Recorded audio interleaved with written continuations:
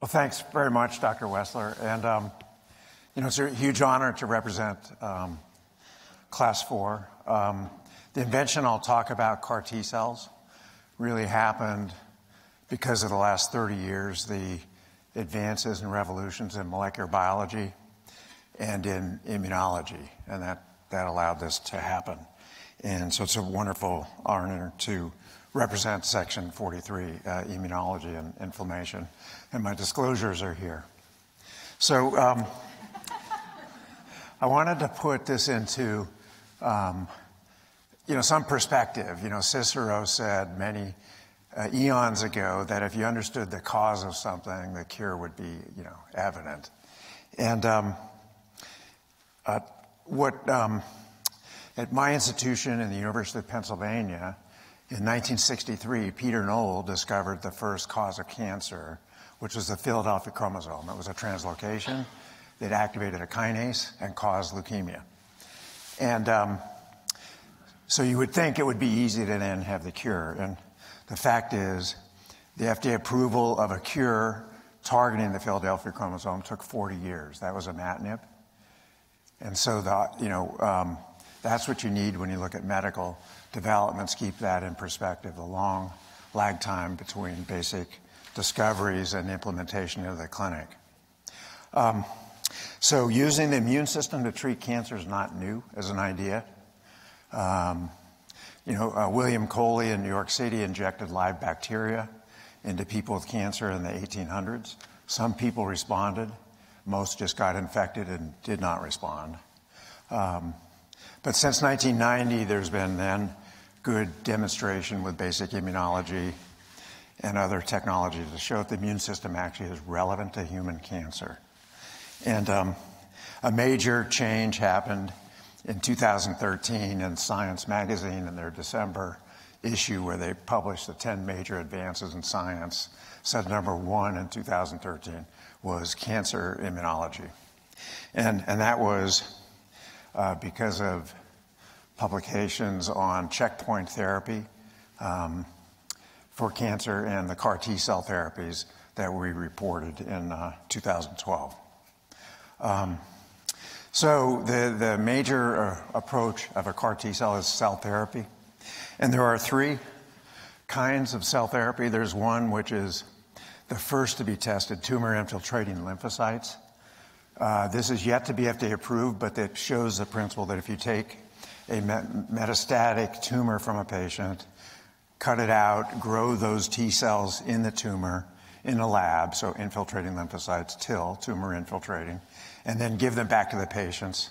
Some of them are cured. What we have done with CAR T cells is to take them from the blood, so just our lymphocytes that circulate, and then in the laboratory genetically enhance them and give them back to patients. Um, and this has now become FDA approved. So uh, CAR stands from uh, you know the words chimeric antigen receptor, coming from the Greek uh, serp, you know mythical animal that was a lion, a goat, and a, a serpent, and um, and that's because we make a T cell and that's chimeric. We combine Within lymphocytes, the two major kinds we have are B cells and T cells. The B cells make antibodies, and you've all heard about that for certain about spike, COVID, making antibodies from B cells protects us against infections. Our T cells prevent viral infections by killing pathogens that are intracellular, and the antibodies bind to extracellular pathogens.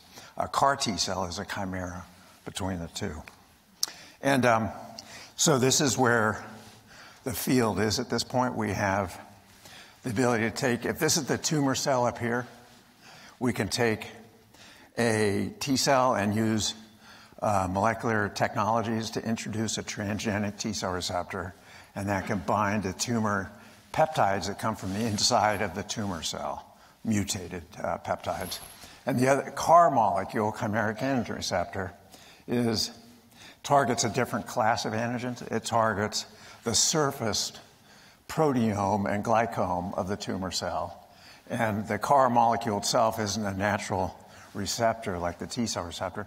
It's a chimeric molecule built that has the antibody that I mentioned that comes from a B cell and then signaling domains uh, that activate the T cell to kill the tumor cell and also to make the CAR T cell proliferate.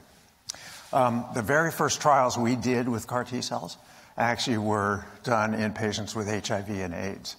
And this was started before there were potent antiretroviral therapies, and so it suppressed viral replication. These uh, trials were sponsored by uh, Tony Fauci and, and uh, NIAID and um, uh, showed we could block viral replication with a CAR T cell that killed HIV infected cells in patients. And we, over 10 years, did three trials with these CAR T cells in HIV AIDS patients. And, um, um, you know, the main finding was that, was that these CAR T cells were the first living drug in patients. We could find them, you know, a decade or more after a single infusion. So these are genetically modified patient-specific T cells, so they're, which is autologous. We took them out in the lab, put in a CAR molecule in there that binds to HIV and kills HIV-infected cells, gave them back to the patient, and they survived for 10 years in the patients. And um, so that was the first proof of principle. And then, um, you know, that was done when I was in the Navy in Bethesda, and um, with funding from the NIH and the Army. And uh, I, I, went back in the early part of the pandemic and gave a grand rounds there at Walter Reed where we did the initial patients, uh, and uh, shown here. Uh, so, and I saw some of those original patients. 20 years later, they still have CAR T cells. So it's really a remarkable demonstration. You can take a cell that's long lived and you can genetically modify it and they can persist. So then in 2010, we began uh, applying that technology to uh, cancer and specific to leukemia patients. And, um, you know, the first patient was an adult infused in 2010, and we reported him in 2011. And, and these, again, they're patient specific T cells. So they, we get them out of their arm, and then in 10 to 12 days, uh, use genetic technology to modify the T cells to put the CAR in. So they have now an antibody in them that will kill leukemia cells on a molecule called CD19. And um, that became FDA approved then five years later. So pretty fast in the scale of usual uh, medical developments. And, and the first patient we treated had a P53 mutant refractory leukemia. Um, and um, we reported him, his 10 year follow up, in a paper in Nature a few months ago. And the first three patients that we treated, two of three had durable 10 year remissions. We could say they're cured uh, with a single infusion of the CAR cells. And they had no unexpected long term toxicities from uh, this genetic modification. So, like we had shown in HIV, you could make a living drug by modifying our endogenous immune system. It's synthetic biology, enhancing the function of the cells. Um, he came back in the midst of the pandemic, still masked, and that's because there's one off target effect. The CAR T cells target CD19, which is on leukemia, but it's on your natural B cells. So he has an acquired immunodeficiency, and he doesn't have normal B cells anymore as well. And that's a research area that's underway. Um, so then in 2012, we treated our first uh, pediatric patient, Emily Whitehead, with the same CAR. And she had acute lymphoblastic leukemia, ALL, and um, had another toxicity. The first I mentioned was B cell aplasia. You kill your normal B cells, but you kill the tumor. She also had cytokine release syndrome and um, clinically had a fever of 106 degrees for three days. And this is the cytokines in her blood uh, in fold above background. So these are chemical names, you know, interleukin 2, interleukin 6 were a thousand fold above background. And this was happening as the CAR T cells killed her tumor. So it's an on target effect. Unlike chemotherapy, like if you throw up and have your hair comes out, that's an off target effect. this is on target, and it happens in responding patients with CAR T cell patients. And um, so I looked, this is, you know, she was, um, time we treated her, six years old. So this uh, month is the 10 year anniversary since she was treated. She was just in Ireland and um, now 17 years old. And this is on Twitter. I got this on Friday. Um, so she was in Ireland on Friday and with the first patient who's here to be treated in Ireland with these CAR T cells. And, um, and it turns out there's now a, uh, a full length movie coming out, documentary about her case, and it'll be in Tribeca in the month of June if you want to see that at the Film Festival in New York. Um, so the off target effect, off tumor but on target effect she had, sorry, the high fevers and so on, is called cytokine release syndrome. Uh, and um, that can affect, it's pleomorphic, can affect any organ system.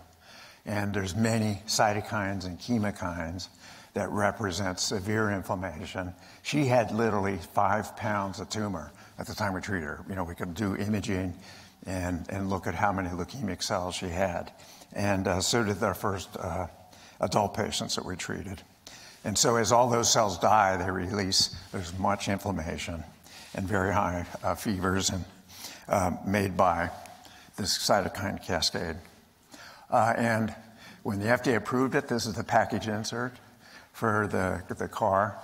It can cause cytokine storm, which is on target. It's now treated with blocking the cytokine IL 6, and that's what saved Emily's uh, life.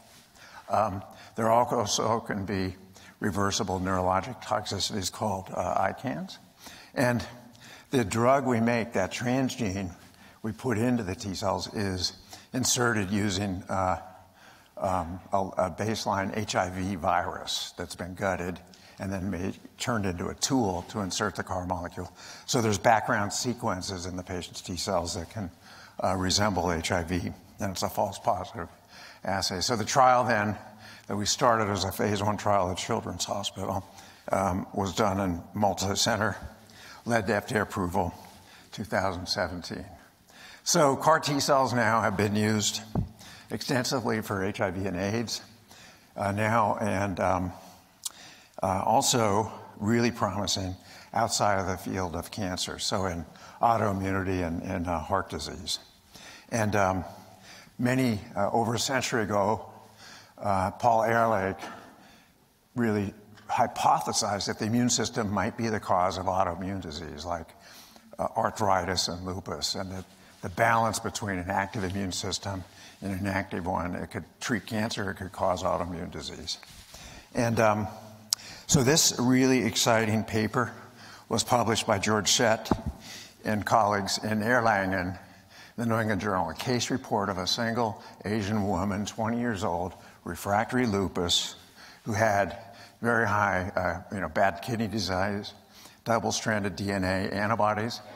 Single infusion of that CAR T cell that we used to kill B cells eradicated her pathogenic antibodies that made the autoimmune disease, and she's now in remission. And they have many patients now where this has occurred in, in this ongoing phase one trial in Germany. Uh, and with John Epstein, and others at the University of Pennsylvania, we asked, could you treat the scars that happened after injury and enhance repair? So, regenerative medicine approach. And you can induce heart failure in mice. Uh, and um, what we found was if we treated and killed the fibroblasts with CAR T cells, targeting a molecule called fibroblast activation protein, we could, instead of having this in an injured heart, we could get almost completely normal repair with a functioning heart muscle. So this is something we're advancing in the clinic now at Penn. Uh, so where we are with cell and gene therapies is moving from a three-pillared system of pharma, biotech, and medical devices, and to this fourth pillar of personalized ther- therapies that are cell and gene and require much more complex logistics. Uh, can be N of one as an SMA that we heard uh, in the previous session. Um, and, and one issue is whether these cell and gene products will be manufactured centrally in a central pharma model or locally at point of service at local hospitals. And, and I think that will happen, but it's not yet ready for prime time. Um, and uh, another issue is whether instead of using your own cells, you could learn to do this with other people's cells, such as cord blood cells, where there's T cells, or um, induced pluripotent stem cells. And, and that there's a very active now biotech and academic uh, working on this, this uh, approach. And, and another major issue from a social, um, political issue is, you know, this is expensive if you treat one by one. And right now, the manufacturing cost and so on for the CAR T cells in the United States is uh, $400,000 a patient. But it costs a million dollars to treat a patient with other therapies like bone marrow transplants and so on, which often don't work. And this is really coming to the fore this year uh, and last year with the most common, whoops, um, most common cancer in the United States in adults with bone marrow is myeloma, and a CAR targeting B cell maturation antigen got approved for that. That tumor is 2% of all adult cancers in the US, but it's 7% of all medical costs. So it's a financially toxic tumor because you live many years, but you're still not cured. So if we can have a one-time curative therapy and learn how to make it cheaper, uh, it will be much better for, for everyone. Uh, but right now we're in this issue where, for instance, in the case of myeloma with non-curative therapy, the lifetime cost to treat all patients is $20 billion a year. Uh, and so you know, we're, we're stuck a, with that right now, uh, with therapies that are expensive but not curative. Um, so globally now, the major development of these therapies is in U.S. and China, and there's over 500 trials underway now. And, and to summarize, you know, we're moving, in the case of ca- cancer therapy, from non-toxic, from toxic off-target effects with chemotherapy to precise uh, cell and gene therapies. And um, I think one thing I've learned over my career is this from Yogi Berra you can observe a lot just by watching. And if you come to a fork in the road, take it. And uh, so there are many people involved. Uh, CAR T cells, my main message is they're a living drug. They're expensive at this point. We need to learn how to make them cheaply and robotically. It's an engineering problem, but they can be an early approach to synthetically enhance the immune system to treat both cancer, autoimmune disease, and heart disease. Many people involved in these studies, and I'd like to thank them here, too numerous to name. Thanks.